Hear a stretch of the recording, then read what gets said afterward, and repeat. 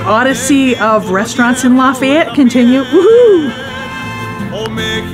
Hi there, my name is Roxane Webster, your local Lafayette realtor. And uh, tonight we're sampling Si Senor, a real Mexican food restaurant at 95th and Arapahoe. Woo! There's Dwayne. Woohoo! The first thing I notice about this place is how festive it is. It is oozing charm.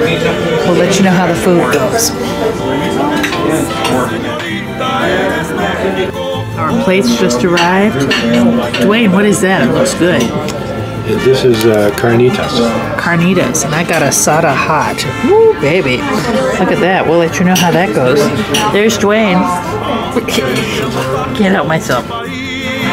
Well, the jury's in, and this was a delightful meal. Uh, flavorful, service was good, the ambiance is really pleasant and warm. So uh, I would advise Si, si Senor Authentic Mexican Food at 95th and Arapahoe. Um, if you'd like a list of other places to eat, and we have been sampling them all, just click on the link below and you can get some information. Como una hermosa señorita eres.